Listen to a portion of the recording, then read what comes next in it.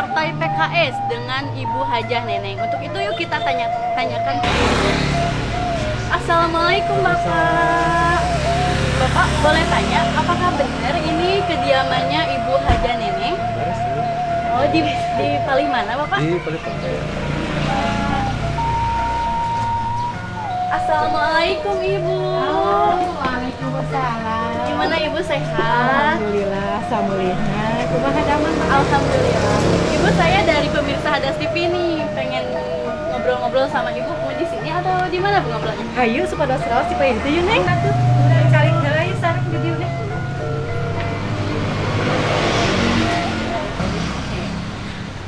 Oke pemirsa Hadas TV, sekarang saya sudah bersama Ibu Hajah Neneng ya Ibu ya. Eh, Ibu, Ibu itu kan masih muda ya Ibu cantik. Ibu menyalonkan motivasi Ibu nih mencalonkan sebagai anggota dewan itu apa ya Bu ya? Eh, Bismillahirrahmanirrahim. Saya termotivasi untuk mengikuti kegiatan di kontestasi politik ini adalah pertama ingin Mengembangkan. Usaha ekonomi produktif untuk masyarakat khususnya eh, bagi para perempuan meningkatkan untuk apa eh, nilai ekonominya di rumahnya masing-masing sehingga dia memiliki keahlian. itu tujuan utama ibu ya. Oke ibu. Kalau boleh tahu nih latar belakang ibu itu gimana ya bu ya? Eh, dari mulai pendidikan mungkin. Iya. Ya. Saya pertama dari bangku SD, SMP, SMA, kemudian ke perguruan tinggi. Saya mengambil eh, jurusan komunikasi penyiaran Islam. Kemudian untuk yang eh, dilanjut pasca sarjana saya mengambil mata eh, kuliah IPS supaya lebih dekat dengan masyarakat. oh iya gitu ya jadi udah ada basicnya Insya Allah, Insya Allah.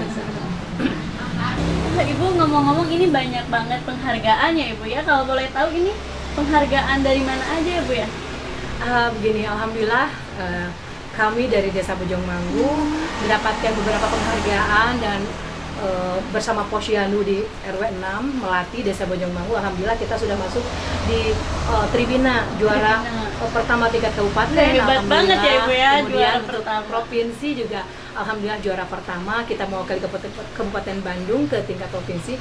Kemudian untuk yang terakhir kita juara harapan satu dari 34 provinsi kita mendapatkan juara ranking keempat atau juara harapan pertama. Nah, emang hebat banget ya ibu pemirsa Hadas TV ini bener-bener hebat banget ya ibu neneng ini tuh pemirsa Hadas TV ibu neneng Bu Hajah neneng ini ya bener-bener wow banget ibu ini kalau ini itu apa ya bu ya Eh, ini merupakan hasil produk sorghum yang telah kami produksi bersama para kader posyandu dan PKK. Alhamdulillah ini ada eh, sereal sorghum, kemudian ada gula sorghum hasil kerjasama dengan eh, PKM Unpad Bandung, kemudian ada mie sorghum, kerupuk mie ya kita bekerja sama dengan Sekolah Hijau Lestari, kemudian ada sistik sorghum. Ini enak loh teh rasanya berbeda dengan nah, boleh, boleh dicoba, dicoba ya kita coba dulu ya Bagaimana rasanya? beneran enak ibu beda beda sama sistik-sistik di Ya. warung-warung ini kenapa eh, enak karena ini tidak menggunakan terigu ini Hmm. pakai- memakai tepung garut kemudian sorghum ditambah bumbu-bumbu rempah rempah-rempah supaya eh, semuanya sehat gitu untuk Sehat. cemilan baik anak-anak maupun untuk orang tua Ibu hebat banget ibu ya Eh, di tengah-tengah kesibukan ibu masih me- masih memikirkan rakyat kecil ya ibu ya. Sekarang ibu kan ngomong-ngomong ibu kan mau mencalonkan ya bu, mencalonkan atau dicalonkan ini bu ya? Eh, insya Allah saya dicalonkan dari PKS untuk mengembangkan mengemban amanah ini alhamdulillah eh, Hmm, saya dicalonkan ya, jadi- masuk dalam eh, dapil 7 Jadi hebat banget ya bu, dicalonkan berarti udah punya basic tersendiri ya bu ya. Eh, Neng, biar kita ngobrolnya enak, bagaimana kalau kita minum dulu ya supaya tadi kan udah makan ini nggak seret. Agak Teh, agak seret gimana gitu. Bisa bantu saya bawakan air teh? Makasih teteh. Mangga, mangga bagus. Ya. Ya, boleh, eh. Diminum dulu ya. Silakan mangga bagus. Hmm, bu ngomong-ngomong ini sejuk banget ya bu di sini enak banget cuacanya. Alhamdulillah eh, karena di sini masih banyak tanaman-tanaman yang hijau termasuk sorghum di antaranya merupakan pangan eh, alternatif yang ada di desa Bojong Mangu yang dikembangkan melalui kerjasama dengan Abah Sorghum gitu. Abah sorghum ya ibu Iya. oh ibu ngomong-ngomong abah sorghumnya ada nggak Ada, nanti sebentar ya saya panggilkan dulu. Boleh. Sebentar ya Neng. iya mangga ibu Ada tamu kita nih Pak kedatangan dari Neng. Bu, Assalamualaikum, tamu dari mana ini? Ya. kenalin abah kita dari pemirsa Hadas TV nih bang Oh, dari Adas TV. Iya. Terima kasih ya. Selamat datang di tempat Abah ya. iya abah Semoga betah gitu ya. Amin. pastinya abah enak banget Betul, ini betul sekali. Oke pemirsa Hadas TV sekarang saya sudah ber- bersama Bapak Sorghum ya salah Abah satu Oke pemirsa Hadas TV sekarang saya bersama Abah Sorghum salah satu tokoh pertanian ya Pak ya Bapak kalau boleh tahu nih eh perjalanan apa sih bukan perjalanan ya eh, latar belakang sorghum ini seperti apa ya Pak ya? Eh, Alhamdulillahirrahmanirrahim Bismillahirrahmanirrahim Assalamualaikum warahmatullahi wabarakatuh. Pada mulanya eh, Abang menemukan sorghum itu Ini merupakan anugerah daripada Allah Subhanahu wa Ta'ala. Karena latar belakang Abah ini bukan pertanian ya Bukan jebolan pertanian. Latar belakang Abah adalah Dulu Abah mantan soldado ya Kurang lebih tahun 56 sudah masuk soldado Jadi tentara Kemudian uh, latar belakangnya. Kemudian Abah melaksanakan tugas setelah masuk ke tentara itu ya, melaksanakan tugas seluruh Jawa Barat, seluruh Indonesia, bahkan sampai mancanegara. Ke ya, Kongo. Garuda dua, Garuda di Kongo gitu ya, tahun 60 gitu. 60 ya. Iya. Pertama kali Abah menemukan sorghum ini gimana Pak? Subhanallah. Pertama kali Abah menemukan sorghum itu adalah di sekitar sawah Abah, ada di Cibinpinu, di sebelakang kita ini ada sawah luas dulunya ya.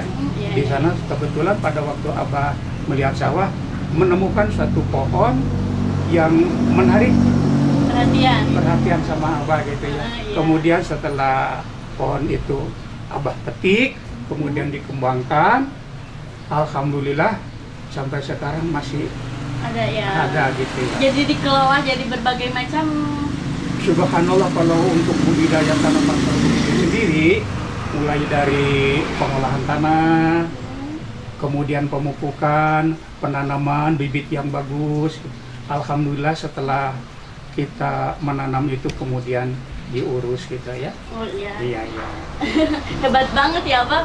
Benar-benar bermotivasi gitu ya.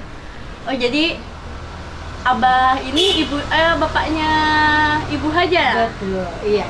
Ini bapak saya, alhamdulillah saya diwariskan ilmu tentang sorghum untuk dikembangkan di masyarakat. Eh, jadi kami mencoba membuka lapangan kerja baru untuk masyarakat supaya memiliki jiwa wirausaha, khususnya dalam bidang pertanian, supaya bisa berkembang dan mereka eh, survive dalam bidang ketahanan pangan. Oke. Abah dengan sejuta pengalaman Abah nih tentang sorghum ini, apakah eh, ke depannya mau diwariskan? Eh bukan diwariskan ya, mau di apa itu teh? Dikaderkan. Heeh, dikaderkan dikaderkan sama ibu neneng apa pada siapa ya, Pak? Alhamdulillah karena Abah ini ya sudah merasa tua deh. Eh, Tapi tetap sehat. tapi tetap sehat karena makan sorghum gitu ya. Nah, begini ya, tentang sorghum ini supaya tidak putus. 20 tahun yang lalu Abah menemukan, sekarang Abah sudah tua, kemudian ini generasi Abah. Ab- Alhamdulillah Abah ya. akan mewariskan Insya kepada putri kami ini, Neng. Ya, supaya eh, sorghum ini tidak putus Punah, seperti dulu, ya. seperti tidak gitu ya. Nah, jadi eh, dulunya memang sorghum ini belum dikenal sama sekali. 20 tahun yang lalu baru sekarang sudah mulai ramai. Terima kasih kepada semua petani se-Indonesia bahkan pada setiap penanam sorghum kami mengucapkan banyak terima kasih. Yuk kita lanjutkan tanam sorghum sabi lulungan sekali lagi sabi lulungan. Terima kasih Neng ya karena Iya, Abah masih ada atau apa? ada pekerjaan lain gitu ya. iya, Abah iya. pamit dulu ya. Terima kasih. Assalamualaikum warahmatullahi wabarakatuh. Makasih ya, ya udah berbagi cerita Amin, sama ya pemirsa Alamin. TV.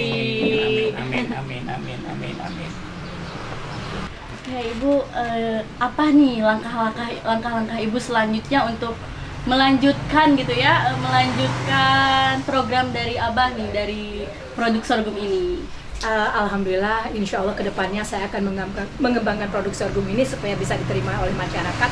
Kemudian uh, supaya bisa gebiar kita melaunchingkan uh, sorghum ini tanamannya wajib menanam sorghum sebanyak 5 pot di setiap rumah warga. Kemudian nanti ke depannya kita akan membuat uh, kampung sorghum sebagai wisata edukasi bagi masyarakat supaya bisa uh, dikembangkan lagi dan masyarakat menjadi tahu bagaimana cara budidaya, pengolahan, kemudian pasca panennya dalam bentuk uh, makanan-makanan yang bisa menilai ekonomi tinggi. Eh, Jadi mengurangi eh, apa itu? Eh, mengurangi pengangguran. ya Bu ya. Kita pemirsa Das TV kita coba yang ini ya. Saya penasaran banget sama rasanya yang ini nih. Saya udah nyicipin ini ya Bu. Eh, kita mau nanya ini Bu. Pasti Ibu punya program unggulan ya Ibu mencalonkan sebagai anggota dewan ya Bu ya. Ngomong-ngomong, salah satu program unggulan Ibu itu seperti apa ya Bu? Uh, Eh, sebentar ya Bu ya. Iya. Eh, kita lanjutkan setelah pariwara berikut ini tetap di bincang-bincang santai bersama saya dan Ibu Neneng.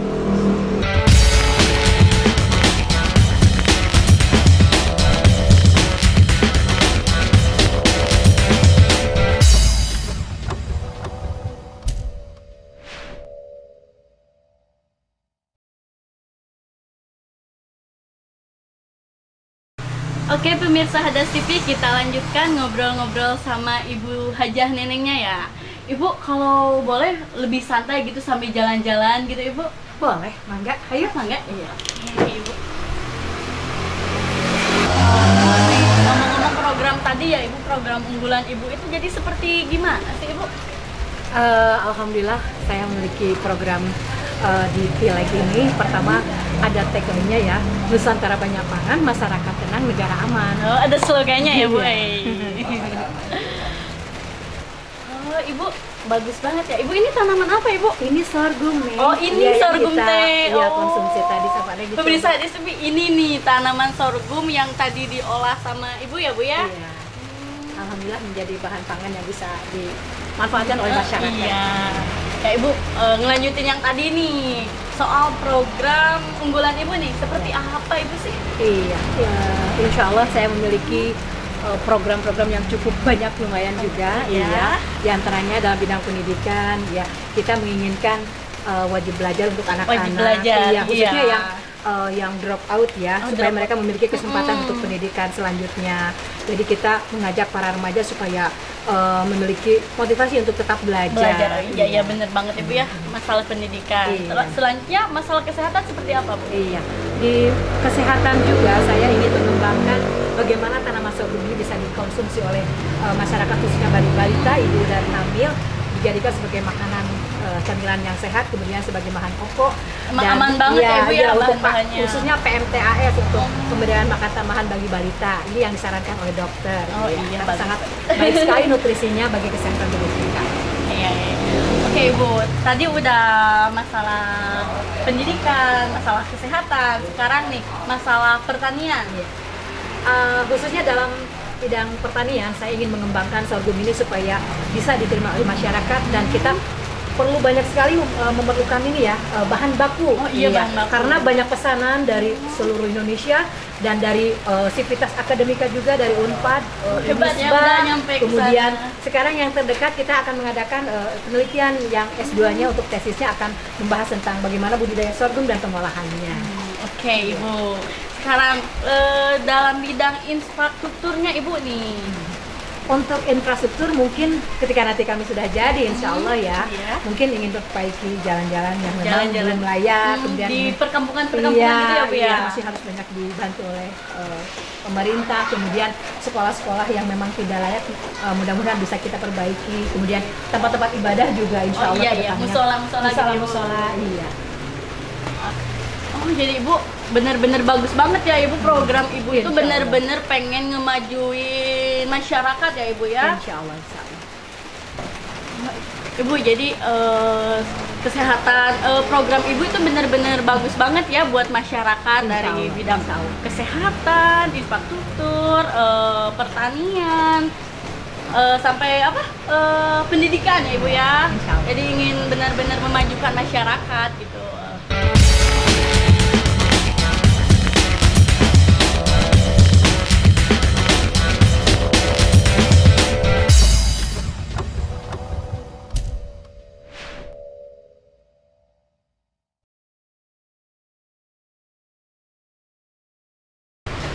Halo pemirsa Hadas TV, eh, masih bersama saya dan Ibu Hajah Neneng. Ibu, ini kita dari tadi udah ngomongin tentang latar belakang Ibu, tentang program Ibu. Bu, ngomong boleh nggak Bu eh, lihat-lihat rumah Ibu? Mangga, yuk dilihat Rana. Mangga. Mangga udah jeng sumping. Nah, Ibu ini rumahnya enak banget pemirsa Hadas TV, bener-bener adem. Wah, Ibu, itu ada penghargaan-penghargaan ya Bu ya? Hmm, Ibu ngomong-ngomong ini penghargaan apa aja nih Bu nih? Eh, Alhamdulillah kami pada tahun 2018 mendapatkan juara pertama kelompok bina keluarga remaja eh, bina keluarga Ini remaja Melati TV. iya Melati dari eh, desa Bojong Manggu kita mendapatkan juara pertama untuk tingkat eh, ke, eh, provinsi Hebat banget ya pemirsa Das TV nih. Nih, kalau yang lainnya ini Bu, nih ini dari mana iya nih Bu? kita eh, mengadakan kerjasama dengan Sivitas Akademika Universitas Islam eh, Bandung.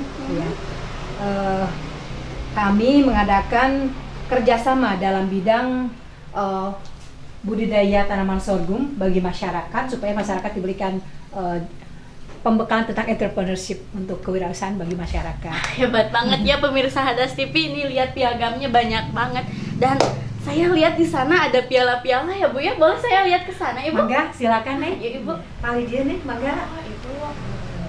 Oh, ini ya Bu ya. Iya. Aduh, Pialanya emang bagus-bagus banget ini ya Bu ya. Boleh dikeluarin Ibu? Boleh, Dilihat. mangga. iya.